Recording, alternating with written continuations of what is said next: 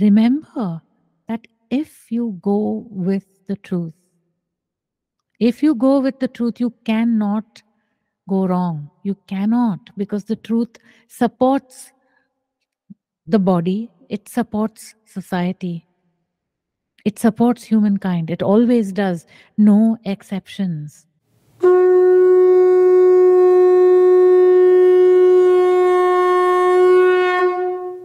Namaskar, Maharishikaa. Could you please describe more about this impulse in the system? How do you feel it? How do you sense it? This impulse of the truth inside the system. The more you bend in surrender, the more you can move beyond the noise of the ego. That is the most important thing. Because if you have grown up in an Abrahamic environment, in an Abrahamic culture, you have grown up with the idea of a God that is outside yourself. You have grown up with the idea that you are essentially a being of sin, not in oneness, but as someone that is less than God and can be punished. It's so painful to imagine that so many millions of people live in that extreme falsehood when actually you are the truth. You are a source of love, a source of compassion, and that soul within is that expression.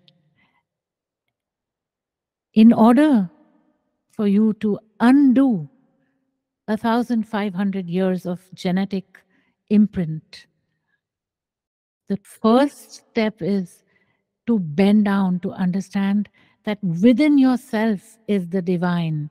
It is within. And once you befriend that idea, then you start to feel the experience of being divine, even before you tune into any soul or firstly, it is to understand the truth is within me. The truth is guiding this body. This body is a servant of that truth within. It is not a truth that punishes. It is not a truth that that thinks of this body as a sinner. It is the truth that is quietly guiding this whole system. And I, Alexandra, must only bend, try to feel my way back to the truth within which, as a small child, I knew already. I knew it then, and I lost it over the process of socialization. So now, all that noise of the socialized ego has to drop, it has to quiet down. It's like you're cleaving away, like Moses did through the ocean of the ego down to the truth within. That is only possible when you start to bend and you become humble, you become simple. It's a momentary thing, it's in every moment. It's not necessary to aim at a huge character change. It's just in this moment, I'm humble, I'm bent in surrender. And then I start to feel my center. I start to feel that there's something there which is not this body. And I just quietly bend to it. I don't say, I am the soul. That is a ridiculous statement. It's just a, a new age misrepresentation of ancient philosophies. What you say is, I am this body in surrender to the soul I am an instrument of the soul. And once you start to feel yourself as an instrument of the soul, you will start to observe the difference between an action arising from the ego and an action arising from the truth. You will automatically start to feel it. So that impulse, even if in the beginning you don't feel it, you definitely know what the ego is. And by inference, you will feel what the soul is. Because if your grandmother and your great grandmother and your great great grandmother and your great great great great grandmother have all grown up with the idea that they are sinners, how then are you supposed to feel the divine within? So it's a matter of leaving your way through the ego in there and sitting in, in surrender to that soul. And then you'll start one day, you'll ask a question, you'll say, Is this the thing for me to do? And the ego will say, Yes, yes, go ahead. It's a perfect thing to do. It's all fine and all beautiful. You do it and you realize it causes you suffering. Then you mm-hmm. know, aha, this action is an action inspired by the ego and has brought me suffering. And the next day you'll be more careful and you'll ask again, is this action arising from the truth or from the ego? And you'll suddenly feel, no, it's not the ego that's pushing you to do this. There's something within an impulse just making you do it, and then you do it and you realize this has not brought me suffering. So obviously, it is arising from something which is not the ego. And the next day, you directly go to the truth and you ask, Is this the thing for me to do? And you may feel that impulse as a yes or a no.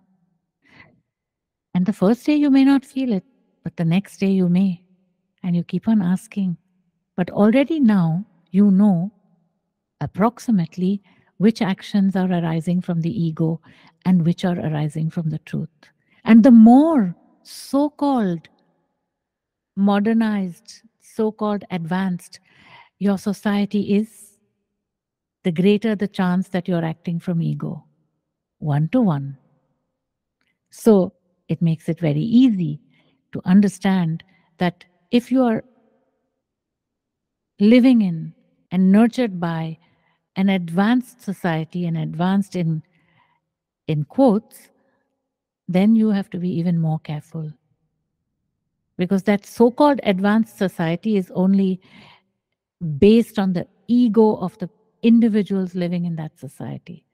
And although we may need many of those advances it also makes us into more egoistic beings so that is where the bending starts every day every moment in each moment remember that if you go with the truth if you go with the truth, you cannot go wrong. You cannot, because the truth supports the body, it supports society, it supports humankind. It always does. No exceptions. So that is the process. You start with the surrender, you bend, you try to distinguish is this action coming from the ego? Is it coming from the truth? slowly, slowly, step by step by step, you make your way to the truth in deep surrender as a servant of the truth, and you live your normal life and you keep on training yourself. That is the sadhana that is spoken about here. And it's a tough sadhana, but it also has very amazing um, experiences it brings with it and the joy just grows. It just simply does.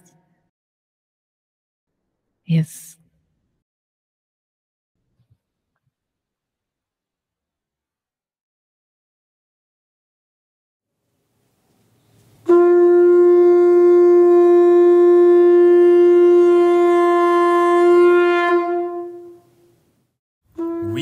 Invite you to a live online satsang with Maharishikaa Preeti this Sunday. To know more, click the link in the description below.